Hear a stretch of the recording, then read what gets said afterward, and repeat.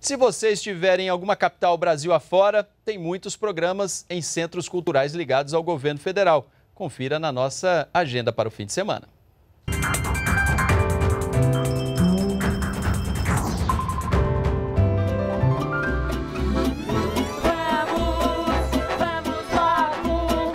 Começamos nossas dicas por Belo Horizonte. Lá tem teatro infantil. É a peça Cinderela Lá Lá Lá, uma adaptação da história da gata borralheira, no Centro Cultural Banco do Brasil.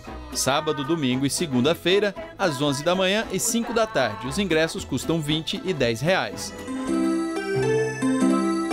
No Rio de Janeiro, o clima dos Jogos Olímpicos se estende para o cinema e as artes visuais.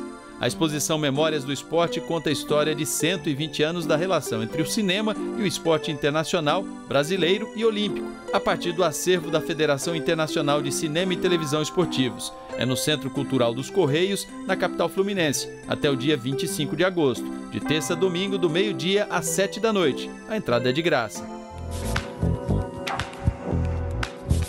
Em Brasília, o programa também tem artes visuais. É a exposição Zeitgeist, a arte da Nova Berlim, uma mostra do que foi criado na cidade alemã, marcada por duas guerras mundiais e dividida por um muro durante quase três décadas. É no Centro Cultural Banco do Brasil, até o dia 12 de outubro, das 9 da manhã às 9 da noite. A entrada é gratuita. Curitiba, a atração é a música, com o show das irmãs Alzira E e TT Espíndola. É na Caixa Cultural, sábado às 8 da noite e domingo às 7 da noite. Ingressos a 20 e 10 reais. Do sul para o nordeste, em Fortaleza, o teatro infantil é uma das opções para o fim de semana. A peça Dona Onça Pintada e seu bode cheiroso aborda questões relativas ao desenvolvimento das crianças. É no Centro Cultural Banco do Brasil, sábado e domingo, às 4 e 6 da tarde. Ingressos a 10 e 5 reais.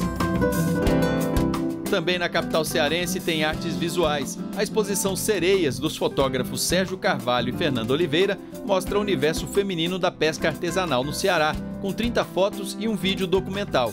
No Espaço Cultural Correios, até 3 de setembro, de segunda a sexta, das 8 da manhã às 5 da tarde. A entrada é gratuita. Em Recife, a atração é o teatro, com a montagem de Contrações, uma premiada tragicomédia inglesa. A trama relata as relações no dia a dia do escritório de uma grande corporação. É na Caixa Cultural amanhã às 6 da tarde e 8 da noite. Ingressos a 20 e 10 reais.